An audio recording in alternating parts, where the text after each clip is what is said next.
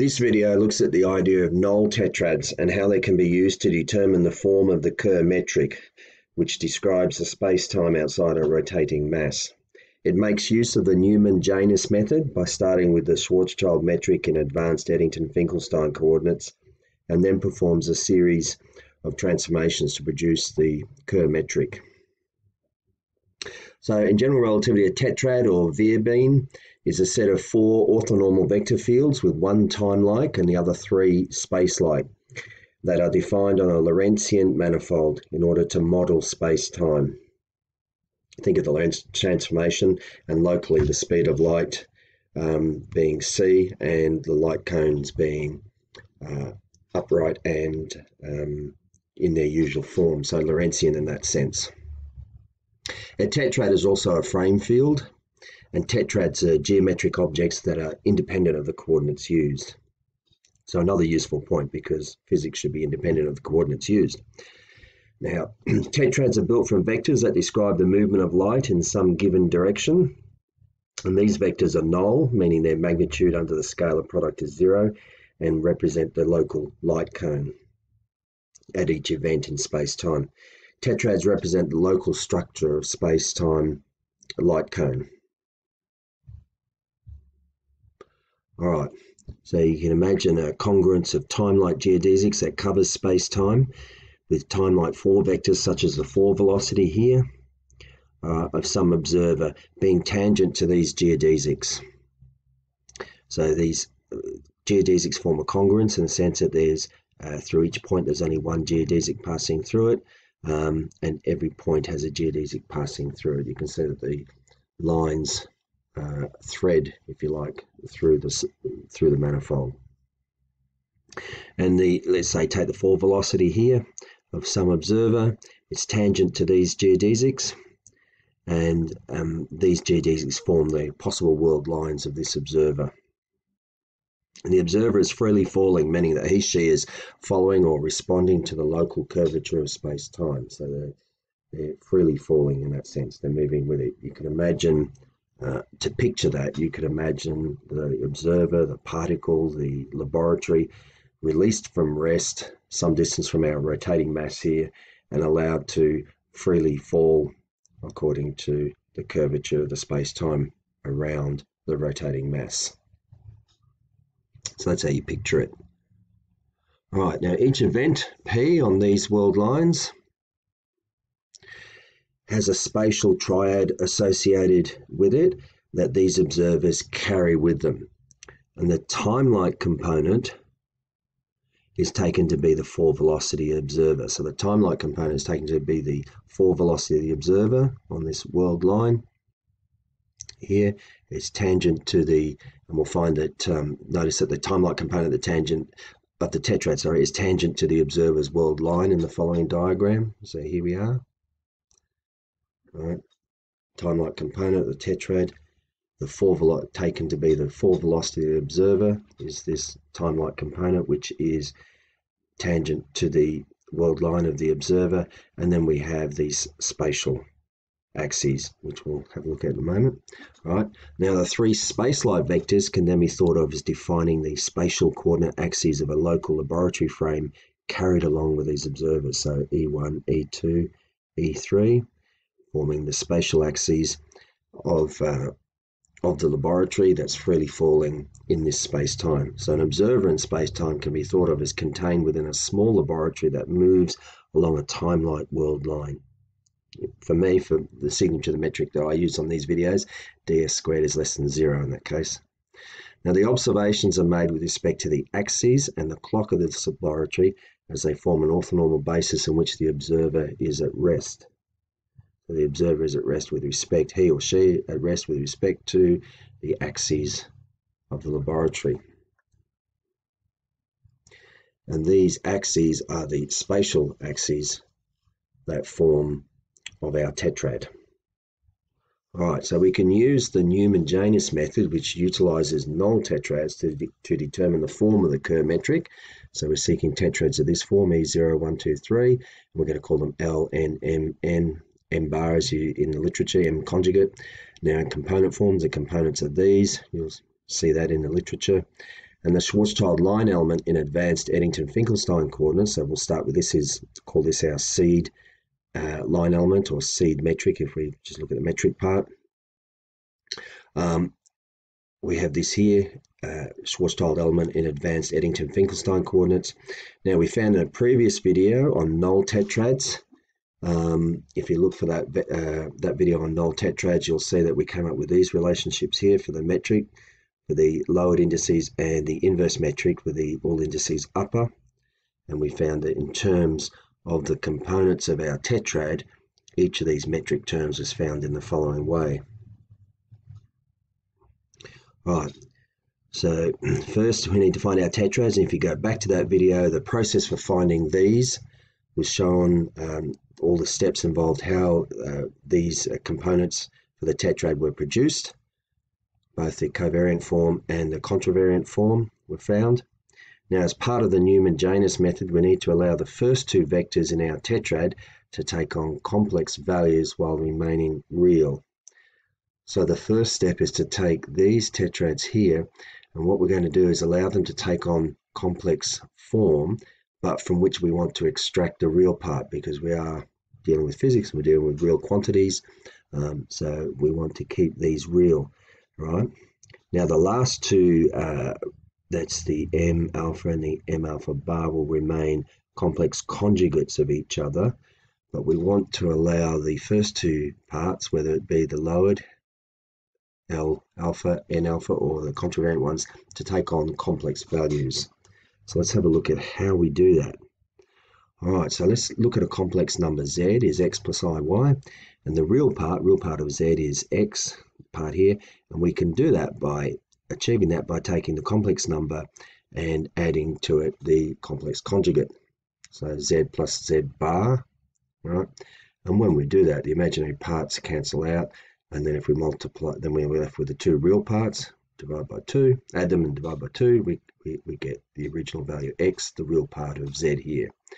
In the case of reciprocal term, how do we find the real part of 1 on z?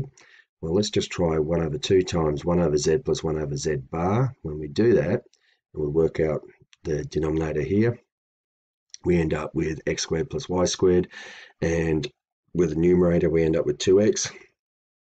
And if we do that, we end up with the real part of z over modulus of z squared. And so all of this is real. So when we extract the real part of this, we end up with a quantity here that is real. So a tetrad with covariant indices now looks like the following. Uh, there's no uh, R value, and this was constant, so nothing happened here. But here, we have this 1 on R plus 1 on the conjugate of R because we've allowed R to become complex. Now altogether, this still will extract for us a real value, which is what we need because we're dealing with real quantities.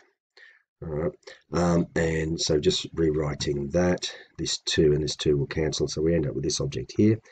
We still have now for the complex part, M alpha, we still have this, and the conjugate part is so on.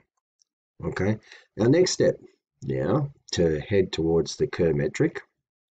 Turns out we need to make the following coordinate transformations. U to uh, U dash, remember the uh, advanced time parameter in the Schwarzschild metric was in advanced Eddington-Finkelstein coordinates was U. And so U dash will now replace that with U plus this complex part here, I times A cos theta. Remember A was the angular momentum per unit mass and r will similarly replace with r prime, which will be r plus ia cos theta, and the angular part will remain the same. That won't change. It's just the u and the r that undergo uh, transformation. Why? Because it works, uh, as you'll see shortly. All right, so let's come back to our complex. Uh, let's come back to our tetrads again. Here we are, L alpha covariant uh, index alpha, N alpha. This object here. We've substituted in the r plus ia cos theta, and similarly over here, the conjugate. Uh, calculate, work that through, and we end up with this object here. Now, let's look at the other two complex uh, tetrad components, components of the tetrad vectors. Remember, these are all our basis vectors. Uh, and uh, substitute that in here and in here as well. When we work that through, end up with this object and this one. Now, what we, this one is once we've established this, all we need to do is to take the conjugate of this, this object here, and this will work out to, uh, to produce the correct result later on.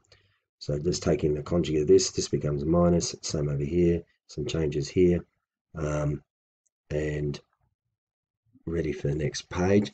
Now we can generate the terms of the metric G alpha beta using our new tetrad and from that previous video on null vectors and tetrads uh, we found this relationship. Now let's use this relationship. We're going to find G, U, U.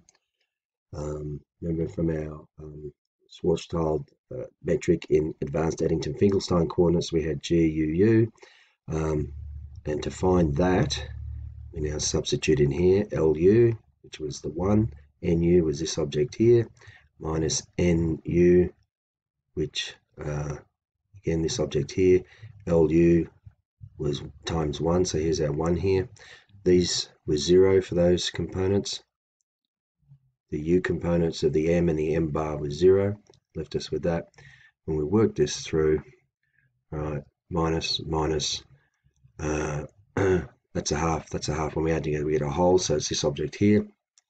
The next uh, element in our line element was the cross term UR, and calculating through that, again, the MU and MR disappeared at the end, give us 0, MUs were 0, as we saw above. When we work our way through this, LU uh, and NR was negative 1. Uh, working out through here, we end up with this object here. That was times 0 here, LR was 0. That disappeared, so fortunately we're left with just plus 1. Next step was the theta theta term, calculating through here. Again, same thing if you go back to what we found earlier for our tetrads, n theta, l theta, um, disappeared to give us zeros, and we only had the now the m theta and the m theta conjugate come into play. That gives us these object. Working the algebra through gives us this phi phi term. Same thing here again. L phi, n phi are all zero, so that all disappeared. That left us with this object here. Uh, plus this. Remember the conjugate part is this bit, this bit here. Uh, when we work it through the algebra, we end up with this object here. Next step. All right, now our transformations are, we've used this and this, and so that means the differentials then take the form du prime is this, this, and this. You will notice sometimes, I'll just come back here to the momentary transformation, sometimes in the literature you're going to find that it's a plus here and a plus here. Um, I found here that if you use minus, minus with the signature, the metric I've used and so on, if you use the minuses here, it will work. Our differentials then become this object here and this one here. The angular differentials don't change. They're the same under this transformation. And our line element now takes the form, here we are, ds squared is this object, that one. Let's now substitute in what we found on the previous slides, gives us this but du squared becomes du plus ia sine theta d theta, all squared, um, plus 2 times this object times this one, plus this one, and plus that one. All right, next step, we're going to now, we can't just leave the imaginary number i there, that's not going to help us, but it will turn out that we're going to make the unusual transformation that i times d theta is equal to sine theta d phi. Now, looking around in the literature, I've seen claims that this result is not provable, that um, it's just a transformation that's used because it works. Um, if someone can prove it, great. Add it, show the proof in the comment section below this video by all means, but uh, it would be interesting to see that and prove it in the general case, not just for incremental angles, but if you can prove it in general, that'd be something useful. But from what I've seen in the literature, there's no claim that this is provable, but it is a result that works. So let's see how it works. So remember we had our, um, before we had our IA sine theta d theta. So what I've done here is just to put the I and the d theta together in each of these terms. And when we do that here, if we then replace i d theta, i d theta, i d theta, if we then replace that with sine theta d phi, that becomes a sine squared theta d phi. This becomes a sine squared theta d phi. Similarly here, okay, our next step now, all right, is um, bingo, finished. We've achieved the Kerr metric in the form that he published in his original 1963 paper, a snapshot of which I've got here. Uh, here's the original form. He's used natural units, G and C equal set to 1, um, whereas I've included them here, G and C. Um, but other than that, uh, the same result. So this is what he, this is the form of the Kerr metric that he published in his 1963 paper originally. And here's how you get it. And here's where the step, and these were the steps that we've used. All right, that's